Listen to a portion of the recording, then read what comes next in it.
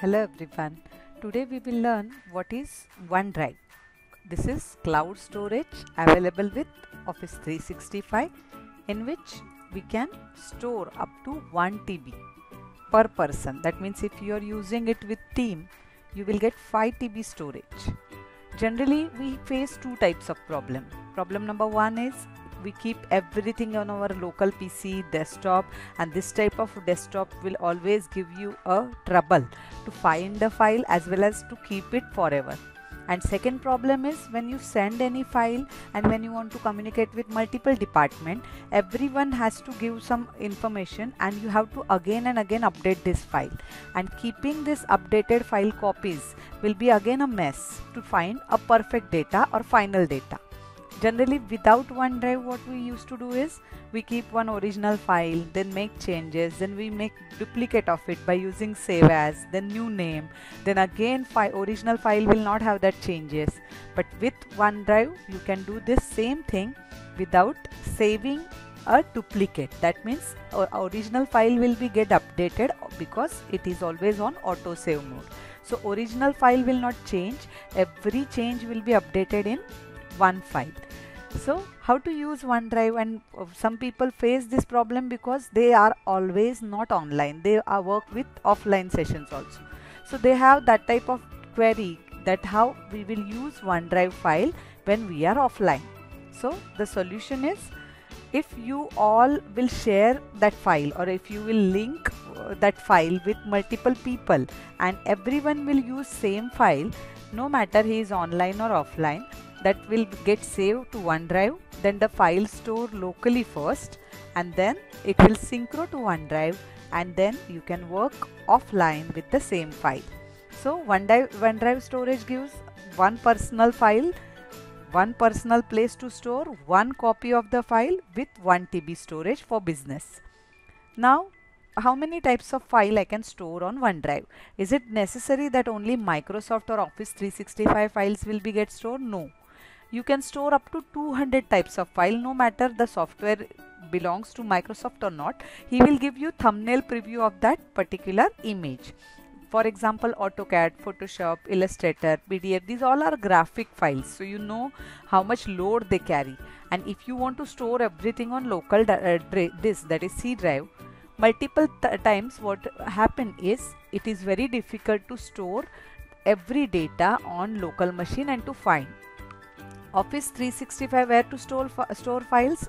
I can keep my files on OneDrive. Team files will be in the team storage. Then department files I can keep in SharePoint. Then MS projects. So, so many options are available and only for storage of files.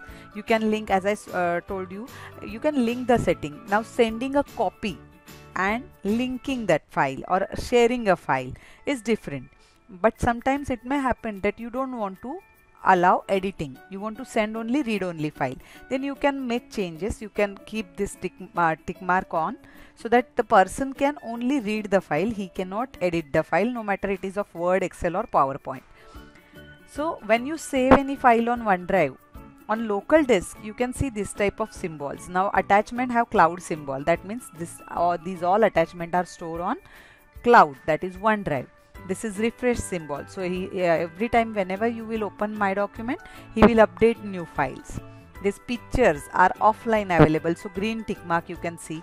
Then again personal vault now what is personal vault that we will discuss later?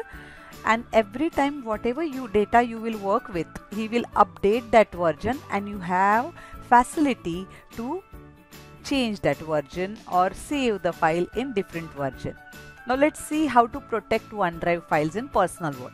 What is Personal Vault? Personal Vault is protected area in OneDrive where you can store most important or sensitive files or photos. Generally our uh, proof of ID, then other documents which we used to carry in pen drive or some uh, papers, paper files. No need to do that. If you are using mobile, desktop or laptop, you can use same drive, same storage vault, a one place to store most important files.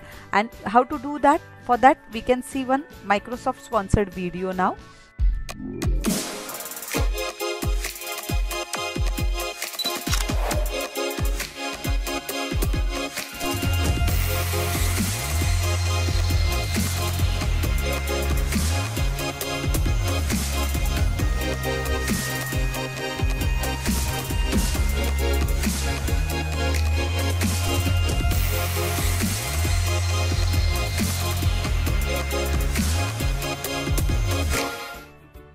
So this is very simple way to store your data. And this particular file will be always secured and safe. No matter where you are on, in the world you will get the data but no other person can use it and share it. So this is a new way a new technology to keep your files safe and on global storage. Did you find this video helpful? Then like and share this video and subscribe our channel. Thank you